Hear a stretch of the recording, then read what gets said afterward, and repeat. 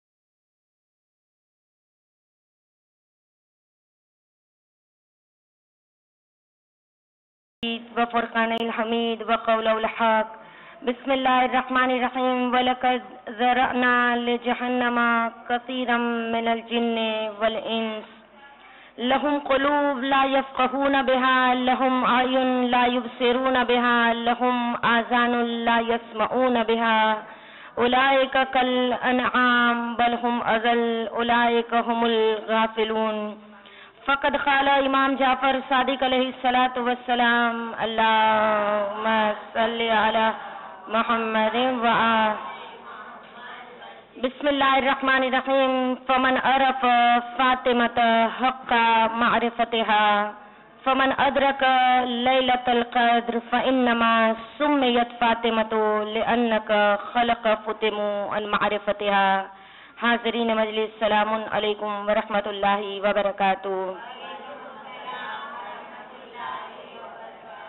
मेरी अजीज मार बहने सूर्य आराफ की एक नंबर की आयत 179 नंबर की आयत, सरनामा कलाम के तौर पे मैंने तिलावत करने का शरफ हासिल किया है। इर्शाद रब्बुल इज़्ज़त हो रहा है कि अक्सरियत जिन्नात और इंसान की, जिनके लिए हमने जहन्नम की आग को पैदा किया है।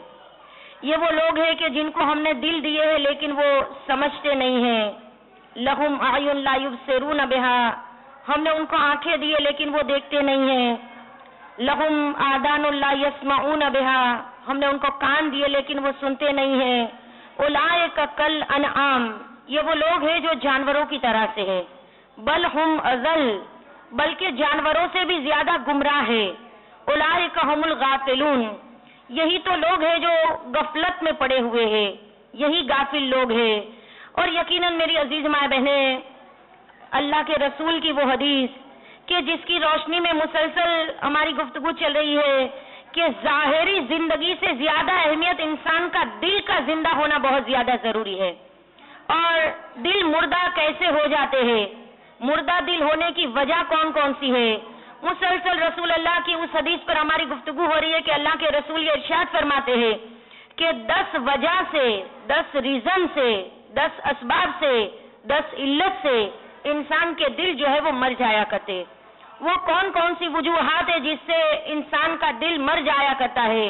और जब दिल मर जाए, जाहिरन इंसान एक चलती फिरती लाश की तरह से जबकि इंसान का दिल अंदर से मर चुका है। मरे हुए दिल को किस तरह से पता चले कि दिल मर जाते हैं? तो अल्लाह के रसूल कहते हैं कि दस निशानियाँ हैं, दस वजूहत है जिससे इंसान का दिल मर जाता है। सबसे पहली वजह अल्लाह के रसूल कहते हैं कि तुमने अल्लाह की मारिफत हासिल की, लेकिन अल्लाह की इतात नहीं की। लिहाजा तुम्हारे दिल मुर्दा हो गए। अल्लाह के रसूल कहते, दूसरी वजह दिल को मुर्दा बनाने वाली। तुमने कुरान की तिलावत तो की, लेकिन कुरान की बातों पर तुमने अमल नहीं किया। लिहाजा तुम्हारे दिल मुर्दा हो गए। तीसरी वजह दिल को मुर्दा बनाने वाली। अल्लाह के रसूल कहते कि तुमने रसूल से मोहब्बत का दावा तो किया लेकिन आले रसूल से तुमने दुश्मनी की। लिहाजा तुम्हारे दिल मुर्दा हो गए। चौथी चीज़ अल्लाह के रसूल कहते कि दिल को मुर्दा बनाने वाली चौथी वजह यह है, चौथा रीजन ये है कि तुमने शैतान से दुश्मनी का दावा तो किया, लेकिन आमदन तुम शैतान के रास्ते पर चले। यानी कि ऐसा नहीं था कि गलती से शैतान के रास्ते पर चले। जानबूझ के तुम शैतान के रास्ते पर चले, तुम्हें पता था यह शैतान का रास्ता है। फिर भी तुम उस रास्ते पर चले। लिहाजा तुम्हारे दिल मर गए। फिर अल्लाह के रसूल कहते कि पांचवी वजह दिल को मुर्दा बनाने वाली। तुमने जन्नत से मोहब्बत का दावा तो किया। तुमने ये तो कहा कि महबूद हम जन्नत को पसंद करते, हम जन्नत से मोहब्बत करते, लेकिन अपने आप को उस जन्नत के रास्ते पर नहीं चलाया। तुमने अपने आप को जन्नत के रास्ते पर नहीं चलाया। लिहाजा तुम्हारे दिल मुर्दा हो गए। फिर इसके बाद अल्लाह के रसूल कहते कि छठी चीज़, छठी वजह या छठा रीजन दिल को मुर्दा बनाने वाला। तुमने जहन्नम से डरने का दावा तो किया। तुमने ये तो कहा कि हम जहन्नम की आग से डरते हैं, लेकिन खुद अपने जिस्म को तुमने जहन्नम की आग में डाल दिया। यानी तुमने ये तो कहा कि हम आग से डरते हैं खुदाया अब्दो का जईफ जलील हकीर मिस्कीन। महबूद, हमारे जिस्म में इतनी ताकत नहीं है कि हम जहन्नम की आग को बर्दाश्त कर सके। तुमने दुआए कुमेल में ये तो इकरार कर दिया कि परवर दिगारा मैं जहन्नम की आग से बहुत डरती हूँ, लेकिन तुमने अपने जिस्म को खुद जहन्नम की आग में डाल दिया। फिर अल्लाह के रसूल कहते, लिहाजा तुम्हारे दिल मुर्दा हो गए। सातवीं वजह दिलों को मुर्दा बनाने वाली। अल्लाह के रसूल कहते कि तुमने अपने हाथों से मुर्दों को दफनाया। लेकिन तुमने इबरत हासिल नहीं की। यानी कि इबरतें तो दुनिया में बहुत ज़्यादा है, लेकिन लेने वाले जो है वो बहुत कम है। लिहाजा अगर कोई इंसान इबरत हासिल करना चाहे, इबरत कैसे हासिल कर सकता है? तो सूर्य हश्र की आयत नंबर दो में परवदिगार आलम ये कहता है कि फातबेरू या ओलिल अबसार ए खुली हुई आँखों इबरत हासिल करो। अब अगर आँखें खुली है तो इबरत कैसे हासिल करे?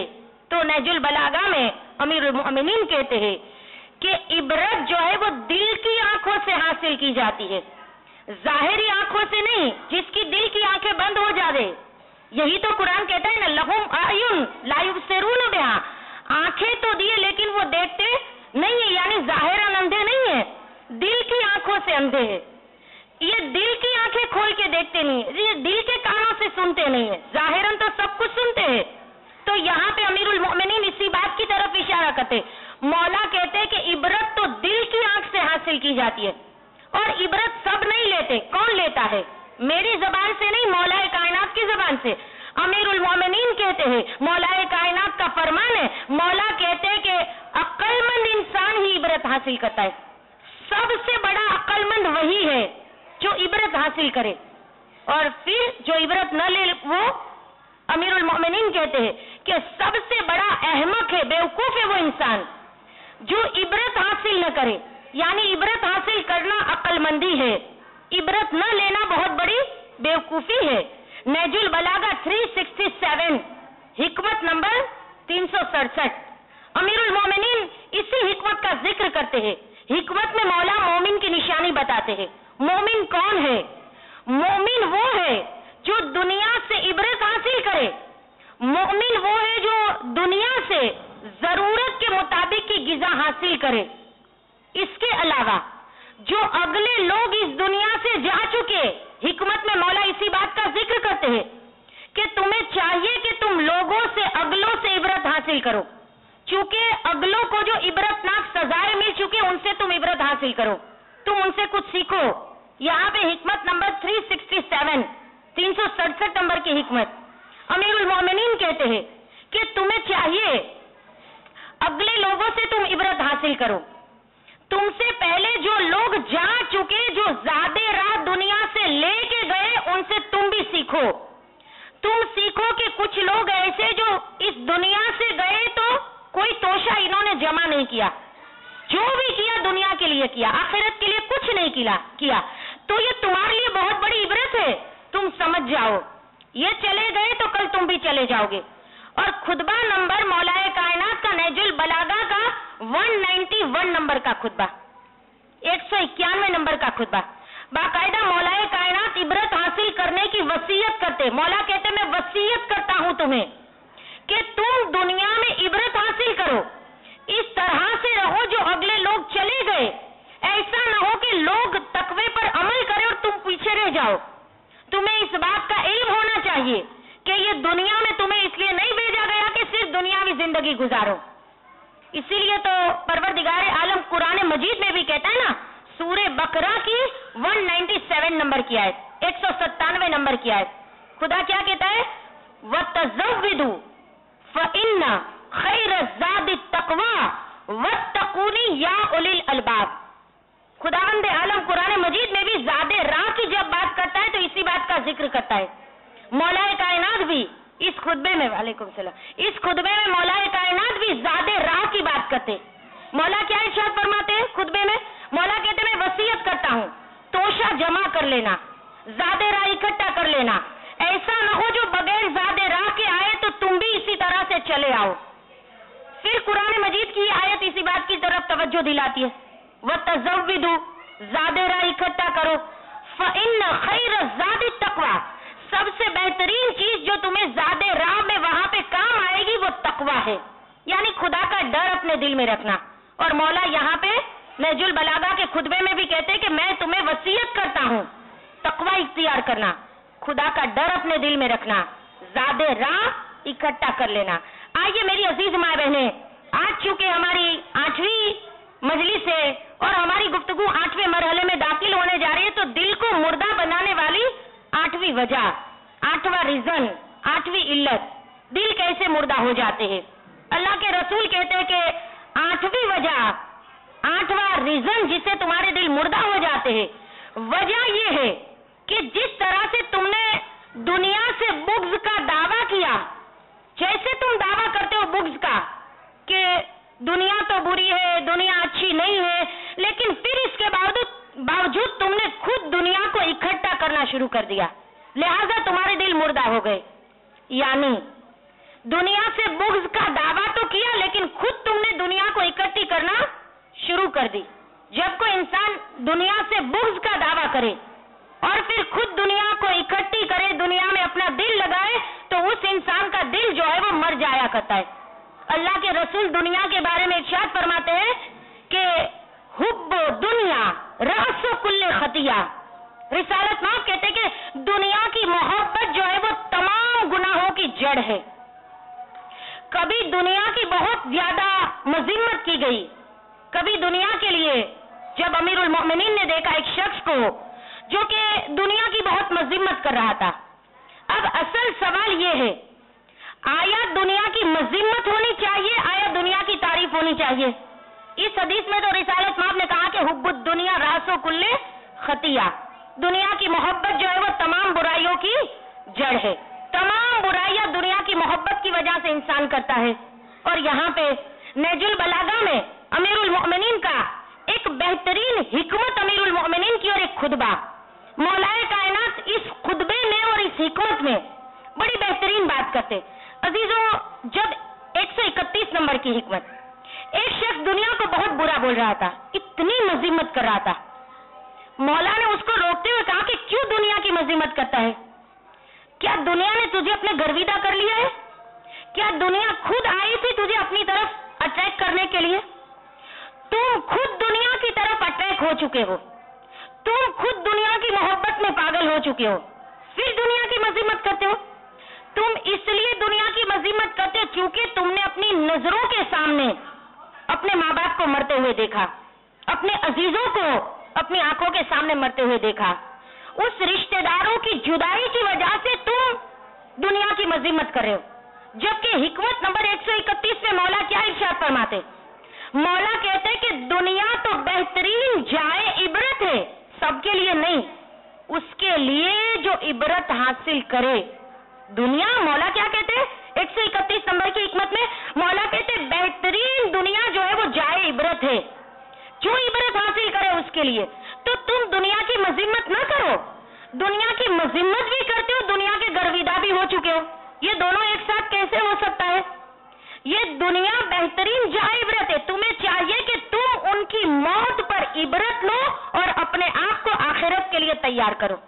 यानी मौलाए कायनात, जिस बात की तरफ़ हमें और आपको तवज्जो दिलाना चाहते कि क्यों दुनिया की मजिम्मत न करे तो मौला के चार जुमले, हदीस अमीरुल मोमिनीन के। मौला दुनिया की तारीफ़ किन जुमलों में करते हैं? इंशाल्लाह हम देखेंगे कि दुनिया तारीफ़ के काबिल है या दुनिया मजिम्मत के काबिल है। उसके बारे में भी उलमा ने पूरी कलाम अमीरुल मोमिनीन की तशरी लिखी है। सबसे पहले तो चार जुमले जो दुनिया की तारीफ़ में मौला ने बयान किए। सबसे पहले मौला कहते इन दुनिया दारो सिद्किन, लेमन सदक लेमन सद कहा। दुनिया जो है वो सच्चाई का घर है, सबके लिए नहीं, जो इसकी तस्दीक करे, जो इसको पहचान ले।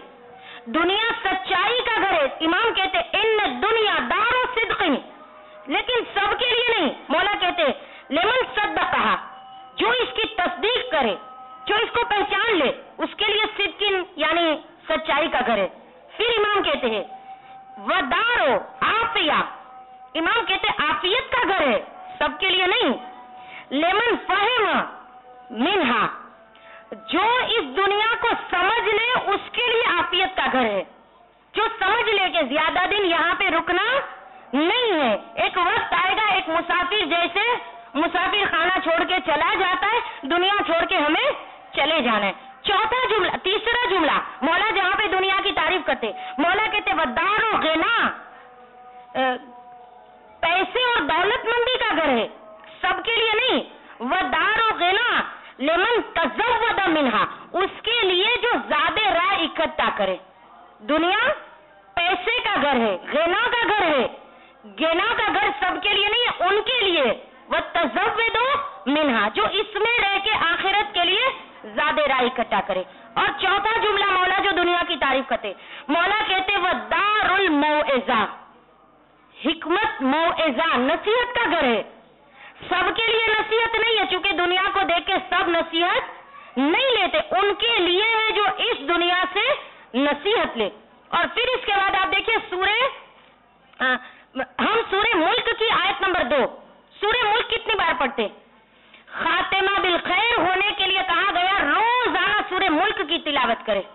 अगर कोई रोज़ाना सूर्य मुल्क की तिलावत करेगा, मौत के वक्त उसे कलमा नसीब होगा।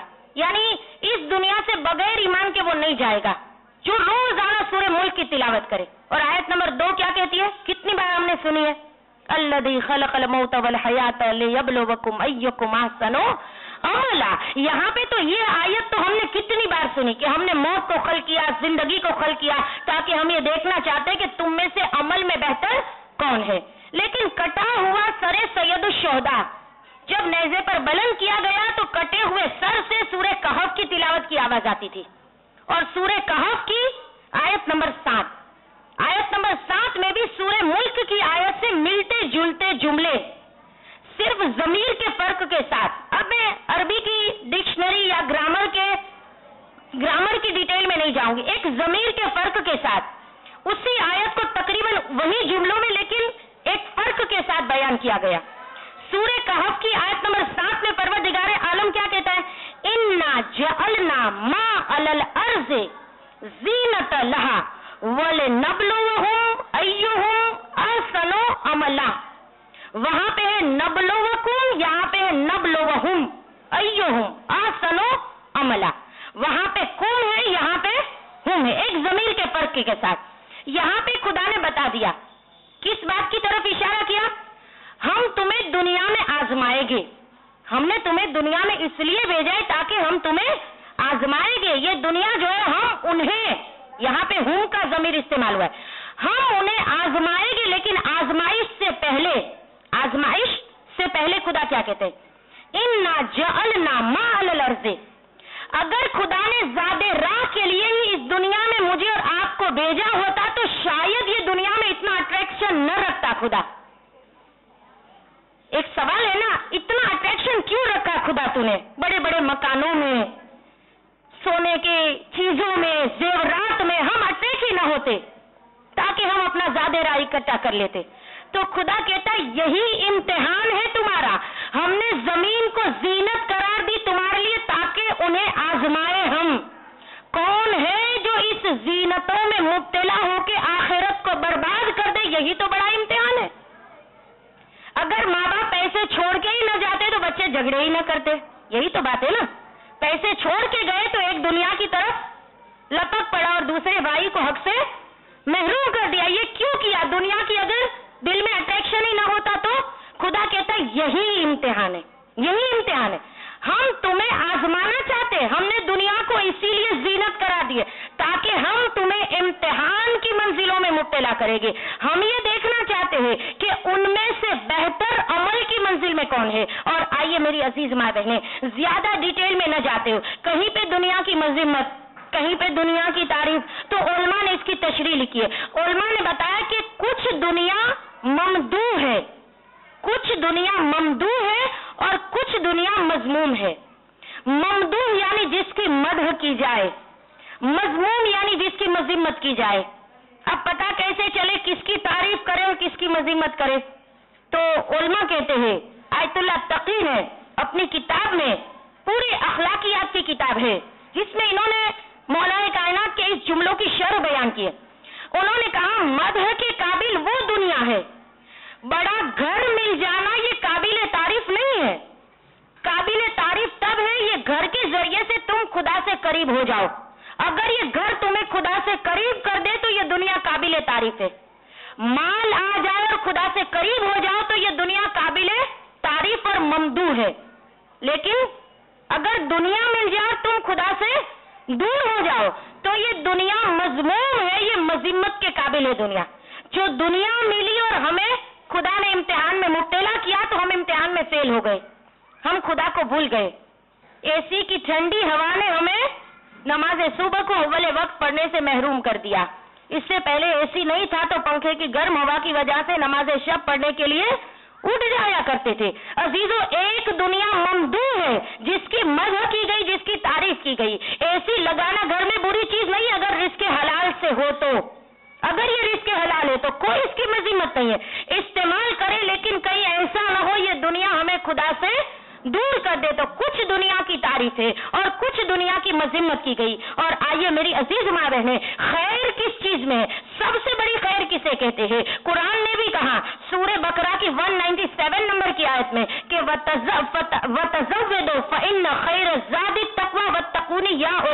अरबाब किसी ने मौलाए कायनात से सवाल पूछा, या अली बताइए खैर किसे कहते हैं? मौला ने कहा, खैर ये नहीं है कि तेरा माल बहुत बढ़ जाए। खैर ये नहीं है कि तेरी औलाद बहुत ज़्यादा हो जाए। खैर ये नहीं है कि तेरे पास बहुत अच्छा घर हो। खैर ये नहीं है कि दुनिया तुझे बहुत ज़्यादा मिल जाए। खैर को दुनिया ने चार, खुदा ने खैर को चार चीज़ों में जमा कर दिया है। अगर ये चार चीज़ें तेरे पास है तो तू खैर पर है, वरना तू खैर पे नहीं है। बड़ा घर मिल जाना, इमाम कहते खैर नहीं है। चार चीज़ों में खुदा ने खैर को समेट दिया है। सबसे पहला, तेरे पास इल्म हो तो इल्म पे अमल भी होना चाहिए। तेरे पास इल्म है तो उसके साथ हिल्म भी होना चाहिए। सब्र भी होना चाहिए, बुर्दबारी भी होना चाहिए, उस इल्म पे अमल भी होना चाहिए, तब तू खैर पर है। दूसरी चीज़, अमीरुल मोमिनीन कहते हैं, तू खैर पर उस वक्त है कि अगर तुझसे कोई नेकी सरजद हो जाए, अगर तू कोई नेकी करे तो ये ना कह के मैंने नेकी की, अल्लाह की तारीफ़ कर। वो खुदा अगर तुझे तौफीक न देता तो कभी भी तू ये नेकी नहीं कर सकता था। मौला कहते कि खैर उसके लिए है, चार चीज़ों में खैर है। दूसरी चीज़, अगर कोई नेकी हो जाए तो तू अल्लाह की तारीफ़ कर। ये ना सोच के लोग मेरी तारीफ़ करे, मैं अपनी तारीफ़ करूँ। तू अल्लाह की तारीफ़ कर। वो काबिल सताइश खुदा की जात है, जिसने मुझे तौफीक दी, वरना मैं इस नेकी के काबिल न थी। तीसरी चीज़ मौला कहते खैर, जब तुझसे कोई गुनाह हो जाए तो इस्तगफार कर, तौबा कर, माफ़ी मांग, खुदा की बारगाह में पलट के चला जा। इंतज़ार न करके तौबा तो बाद में भी कर लूँगी, चूँकि वक्त बहुत ज़्यादा है। और चौथी चीज़, अमीरुल मोमिनीन कहते हैं कि खैर तो जिन चार चीज़ों में खुदा ने समेट लिया है, खैर को जिस चार चीज़ों में खुदा ने समेट लिया है, न सिर्फ़ ये कि तुझसे गुना हो जाए तो तू इस्तफार कर, न सिर्फ़ ये कि तू नेकी हो जाए तो अल्लाह को अल्लाह के लिए काबिल तारीफ़, अल्लाह की तारीफ़ कर। बल्कि अगर तू इबादत कर तो तेरी इबादत पर तेरे अंदर घमंड नहीं आना चाहिए। तू कभी ये ना सोच के मैं नमाज़ शब की पाबंद हूँ। तू कभी ये ना सोच के मैं जियारत वारिसा की पाबंद हूँ। मैं जियारत आशुरा की पाबंद हूँ। तू इबादत करे तो तेरी इबादत पे तेरा खुदा फख्र करे, ये खैर है। तेरा रब जिस इबादत से राज़ी हो, उस इबादत की तुझे ज़रूरत है। ये नहीं कि तेरी इबादत पर तू खुद फख्र कर और मेरी अज़ीज़ माँ बहने। ये दुनिया कभी मजिम्मत और कभी दुनिया की तारीफ़। दुनिया तब तारीफ़ के काबिल है जब ये हमें खुदा से करीब कर दे। और शहजादी कौन है? अब देखिए आगाए महदी यजदी अपनी किताब शहजादी फातिमा जहरा के बारे में जो ये किताब लिखते हैं अजायबात फातिमी। शहजादी कौनैन के अजायबात उसमें ये बयान करते हैं कि अर्श की जीनत, बेहिश्त की जीनत खुदावंद आलम ने जब जन्नत को सजाया तो इसमें फातिमा के ज़रिए से खुदा ने बेहिश्त को जीनत करार दिया। जन्नत की जीनत शहजादी कौनैन का नाम है। अब इसकी डिटेल में उन्होंने दो हदीसें बयान किए, लेकिन चूँकि वक्त नहीं है मेरे पास, मुझे आगे भी एक दो चीज़ें और बयान करनी है। मेरी असीज माए बहने अजायबात फातिमी में आगे महदी यजदी बयान करते कि बेहिश्त की जीनत शहजादी कौन है उसके ऊपर उन्होंने पूरी हदीस बयान की है कि खुदा जब बेहिश्त को सजाना चाहता है तो इसमें फातिमा जहरा बीबी के नाम से सजाता है। क्यों ना हो? छठे इमाम यही तो कहते ना, फमन अरफ फातिमत, हक्का मारे फतेहा। अगर कोई मेरी जद्दा की मारिफत उनके हक को पहचानते हुए हासिल कर ले। फमन अदरक लैलतल, कद्र गोया उसने शबे कद्र को, दर्द कर लिया। फिर छठे इमाम कहते फातिमतो लिअन्न का खलक फोतेमु मारिफतहा, चूँकि मेरी जद्दा का नाम इसीलिए फातिमा रखा गया, चूँकि खलकत को इनकी मारिफत से जुदा कर दिया गया। फातिमा के मानी है, जुदा कर देना। खिलकत को बीबी की मारिफत से जुदा, यानी मुकम्मल मारिफत को हासिल नहीं कर सकता। और एक चैप्टर है, इसी अजायबात फातिमी में, कि हदीस कुदसी, परवरदिगार आलम कहता है लवलाक लिमा खलकतुल अफलाक, मेरे हबीब अगर तुझे खल्क न करता तो कायनात की किसी भी चीज़ को मैं खल्क न करता। लौला खलक तो अली, लमा खलक तो का, लौला खलक तो फातिमा, लमा खलक तो कुमा। यानी तखलीक कायनात के, तखलीक कायनात की इल्लत सबब, रीजन शहजादी कौन है? जिसकी वजह से खुदा ने कायनात को खल किया। खुदा कहते हैं, मेरे हबीब, अगर तुझे खल्क न करता तो कायनात को खल्क न करता। अगर अली तुझे खल्क न करता तो मैं रसूल को पैदा न करता। और फिर आखिर में खुदा कहता है, लौला खलक तो फातिमा, लमा खलक तकुमा अगर मैं शहजादी फातिमा जहरा को पैदा न करता तो कायनात की किसी भी चीज़ को मैं खल्क न करता। यही शहजादी कौन है? आज मैं एक बीबी का हिर्ज लेके आई थी लेकिन इनशाला कल की मजलिस में वो हिर्ज फातिमा जहरा है सिर्फ़ तीन जुमलों का हिर्ज बीबी जहरा का। लेकिन बड़े बड़े मुश्किल काम। चूँकि इनशाला कलम कोशिश करेंगे जब ये मजलिस यूट्यूब पे आएगी तो आपको या डिस्क्रिप्शन बॉक्स में या आ, स्क्रीन के ऊपर ये दुआ या हिर्ज जो है वो आपको मिल जाएगा। या आप सुनते हुए भी लिख सकते हैं, या यूट्यूब पे जब ये मजलिस आएगी तो आप उसके ऊपर से भी ये पूरा हिर्ज लिख सकती है। तीन जुमलों का हिर्ज है। इनशाला वो कल की मजलिस के लिए। आइए मेरी अज़ीज़ माए बहने शहजादी कौन जिसकी शान में अम मासूमीन ये कहें कि नहनो हुज्जतुल्लाह है अला खल के हम कायनात पे हुज्जत है, लेकिन हमारे ऊपर हुज्जत हमारी जद्दा है। ये वो शहजादी कौन के जब दुनिया की बात आए तो जिसके सदके में कायनात खल्क हुई, उस बीबी के एक हदीस। ये हदीस असल में आई है सातवें इमाम से।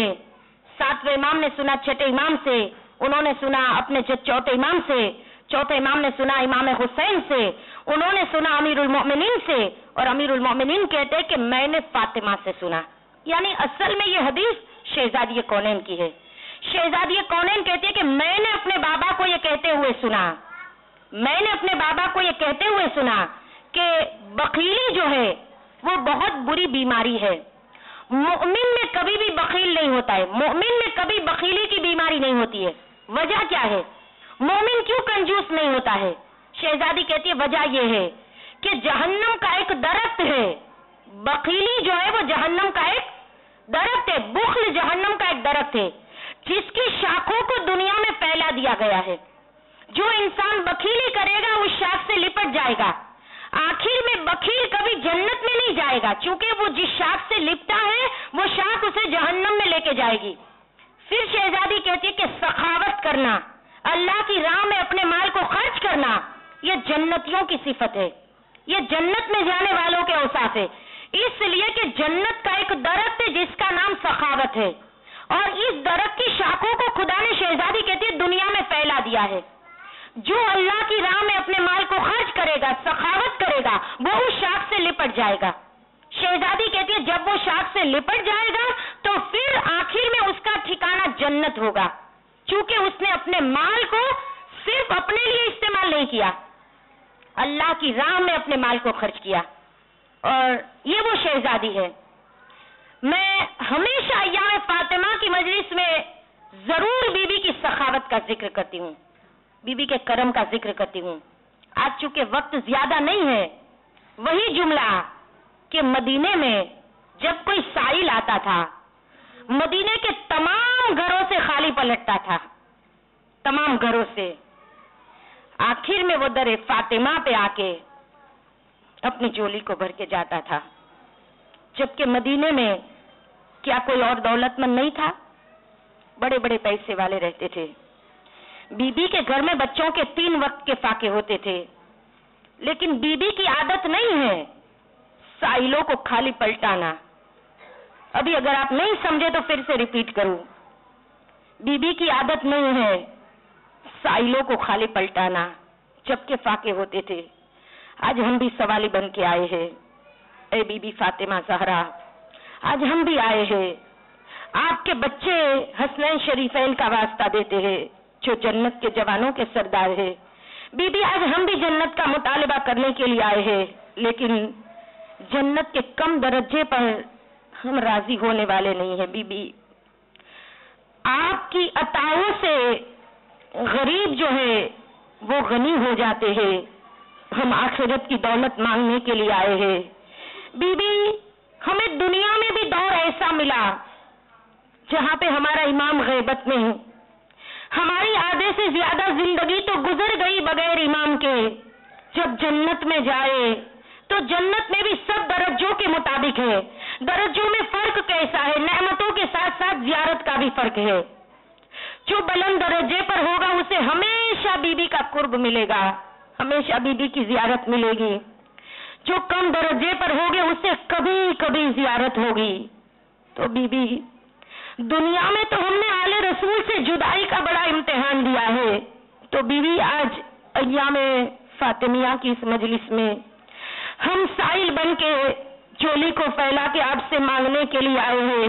बीबी, दुनिया की नेमतों पर हम कॉम्प्रोमाइज कर लेंगे। लेकिन जन्नत में जब हमें दर्जा मिले, जन्नत में आपका कुर्ब मिले, बीबी हमेशा मौजूद रहे, जैसे फिजा को आपकी खिदमत का शरफ मिला था। बीबी, हमें भी आपके कदमों में जगह मिल जाए। और आइए अजीजों, उस बीबी की, उस शहजादी को उस मुसीबत का वास्ता दे। देखिए माँ। माँ दुनिया की वो अजीम नेमत है।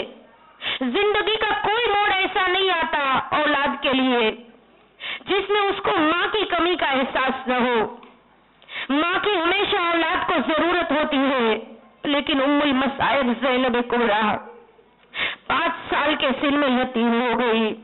बीवी को ज़िंदगी के इतने मुश्किल मराहल तय करने हैं। कौन कौन से मरहले पर? जैनब कुबरा को माँ की याद न आई होगी, लेकिन रोने वाली माँ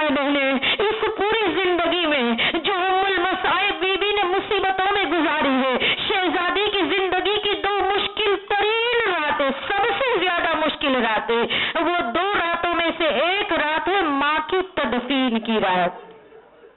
जब मौलाए कायनात शहजादी का जनाजा लेके घर से चले, आधी रात का वक्त है, और घर में यतीम बेटिया, कभी खाली बिस्तर को देख के रो, कभी माँ की खाली मुसल्ले को देख के रो।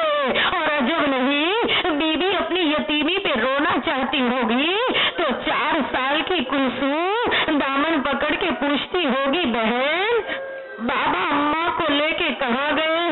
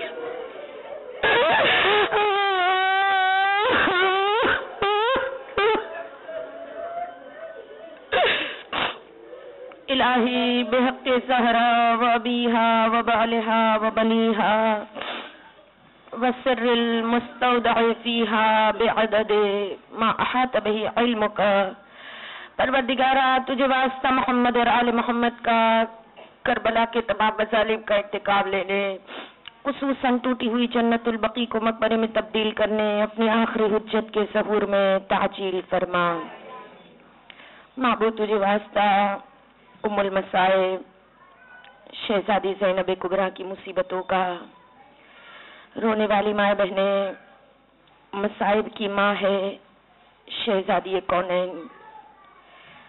जैसे ही आधी रात आई, बीबी ने कहा, बाबा, अब तो ले चलिए। मेरे मौला ने कहा, बेटा हसन, चलने की तैयारी करो। माँ की कब्र पे जाएँगे। चारों तरफ़ इसमत के हिसार में पर्दे में बेटी को मौला माँ की कब्र पे लेके गए। दूर से माँ की कब्र को देखा। बड़ा दिल चाहा बीबी का। जल्दी से दौड़ के कब्र से लिपट जाए। मौला ने कहा, जैनब, रुक जा। कहा बाबा अब क्या हुआ? इसलिए कि कब्र पे चिराग जल रहा था। का बच्चों, चिराग बुझा दो। ये चिराग किसने जलाया था? खुसूसी इमाम जमाना को पुरसा देते हैं आँख में आँसू है चार दमासुबीन आए हैं, बीबी की मजलिस है, ग्यारह बेटों की माँ है। अजीजो ये चिराग किसने जलाया था? एक भाई ने दूसरे भाई से कहा, भैया, आज माँ की कब्र की पहली रात है। चलो कब्र पे अंधेरा न रह जाए, एक चराग जला के आते हैं। इमाम गए और दोनों भाइयों ने जाके कब्र पे चराग जलाया। ए वक्त के इमाम, मुझे नहीं पता आप किस दिल से सब्र करते हो। जिस इमाम ने ये